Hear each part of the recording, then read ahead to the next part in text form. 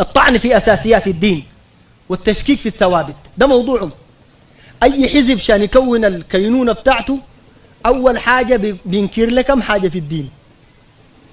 ويطعن فيها. كويس؟ داك الصادق المهدي قال آيات الميراث ينبغي أن تراجع. يعني نراجع اللي قالوا ربنا. تخيل. آيات الميراث قال راجعوها. التراب داك لخبطة كلها. الصلاة الحج كله لخبطه. جاء الثاني طبعا ده سيبك من الأحزاب البعثية والشيوعية كويس ديل حدث ولا حرج. واحد مرة بيتكلم في الجامعة أنا قاعد حاضر كنا طلبة. قال نحن ما بنقول السلفيون ظلموا المرأة. نحن بنقول الله في القرآن ظلم المرأة. الله. والعياذ بالله. المرأة دي قلت لهم خلقه. هو خلق منهم مش خلق الله؟ ربنا لمن خلق المرأة قال ألا يعلم من خلق وهو اللطيف الخبير. لما خلق المرأة ربنا سبحانه وتعالى جعل لها ما يناسبها. قلت له ببساطة اتكى علماني بترى إنه المرأة مظلومة؟ المرأة دي انت ما عندك حق تتكلم عنها. لأنه ما خلقتها انت انت لما تخلق لك مرأة تعال خد لها القانون حقها دايو انت لكن المرأة اللي خلقها الله دي ربنا هو اللي بيتحكم فيها ما أنت. ده شغل الأحزاب.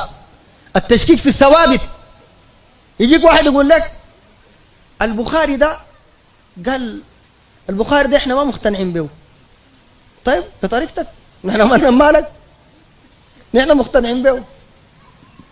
والله ببساطة يقول لك طبعا أنا أنا برى أرى أرى إنه في البخاري واحد مرة جاني في الجامعة زمان عنده صليعة كده هسه ساجنينه مع الجماعة ديل. بدري قال لي يا أخي أنا أرى إنه آية المواريث دي يعني ينبغي أن أن يعني تراجع بصورة تتوافق مع ايديولوجيه العصر الحديث وكده. قلت له شنو هي ذاتها؟ كده أقرأ علي؟ كده أقرأ أنت تراجع؟ هاي. كده اقرا لي القديمة ديك وآية المواريث دي الحفظة ما بيقدروا عليها. والله لو دار تختبر أي زول حافظ قرآن قول لي أقرأ يوصيكم الله في أولادكم.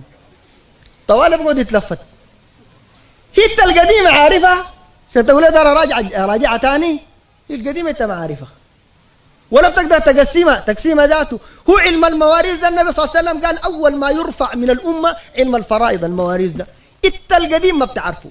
لا تاخذ تلاقي علم مواريث جديد؟ والله تلقى كله مبرجل. كله جايض. تقدر انت يا أخي. لكن شغل الأحزاب التشكيك في الثوابت الدينية وإضعاف هيبة الإسلام في القلوب. أول ما تمشي الجامعة أنت كطالب وأنا بحذر أولادنا الصغار اعملوا حسابكم.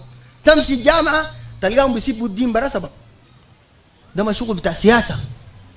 بلا سبب واحد يجي ماشي في الشارع تعفصه. يسب لك دين طوالي. تقال ده ما عنده فهم؟ كلام ده عنده فهم.